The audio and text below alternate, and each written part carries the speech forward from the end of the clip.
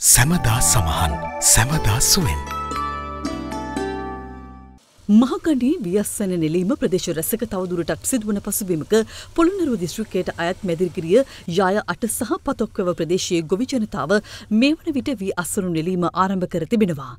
ගොවින් පවසන්නේ මෙවර සිය අස්වනු අඩුවී ඇති අතර නෙලාගත් අස්වැන්නටද මිලක් නොමැති බවයි. ගිය කන්නේ මේ කුමරුවලින් ගත්ත ආදායමේ තුනෙන් එකයි වගේ තමයි තියෙන්නේ මේ කන්නේ. ඒක පැත්තකින් කහරෝගේ ආව අනිත් පැත්තෙන් කළු යට අනිත් පැත්තෙන් රජේ මිලක් නැහැ. මොකද මේකට කරන්නේ? ඇඳුමක්වත් ගන්න සල්ලි නැහැ. පිදුරු වලින් තමයි දැන් රෙද්ද වහගන්න වෙන්නේ. රජයට මේ වීටික හරියට ගිරා ගන්න බැයි නම් අපිට පෞද්ගල කාන්සයකට මේ වීටික හරියට ගිරා ගන්න මේ වැඩ සැලසුම් කරලා දෙන්න ඕනේ. මේ අතර ඇලහැර ගොවිජන ව්‍යාපාරය යටතේ හෙක්ටර් දහසේ දහසක් පමණ වීවකාව සිදු කරන අතර ඉන්සියට පණහක් පමණ මේ වන විට අසුරු වෙලා අවසන්.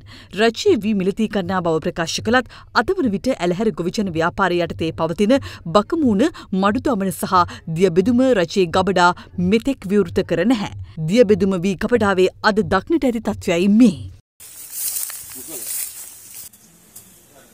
දියබෙදුමේ ප්‍රධාන වී ගබඩාව. අද අද වෙනකොටත් මේවා මේ ගිය කන්නේ අතුරුදාව් පාර ඒ විදිහටම තියෙනවා.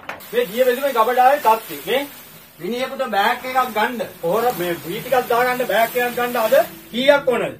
මේ ඛණ්ඩ නෑ මිනිස්සු. මේවා වී දිරාපත් වෙනවා. ඉතින් මොකෙක්වත් මේ පාලකයෝ නෑ මේ බලන්න. අහිංසක ජනතාවගේ ලේ දහඩියනේ මේ විලාස වෙලා යන්නේ. වී කිලෝ එක රුපියල් 70ට මෝල් හිමියෝ ගන්නවා. හැබැයි හාල් රුපියල් 200න් එහා එතකොට රජේ පාරිභෝගිකය ආරක්ෂා කරන්න කියලා වී මිල අඩු කරලෙවලා දැන් අපිට කියනවා හැබැයි එතකොට හාල් මිල අඩු කිරීමක් නැහෙනි. අද ගොයියටත් නැහැ පාරිභෝගිකයටත් නැහැ. අතරමැදි කොහෙදෝ ඉන්නේ මෝල් හිමියෝ ටිකයි කූට ජාවාරංකාරයෝ ටිකුයි තමයි මේ ගොයියගේ ටික සූරගෙන කන්නේ අද දෙරන YouTube නාලිකාව. YouTube අද දෙරන දැන්ම සබස්ක්‍රයිබ් කරන්න.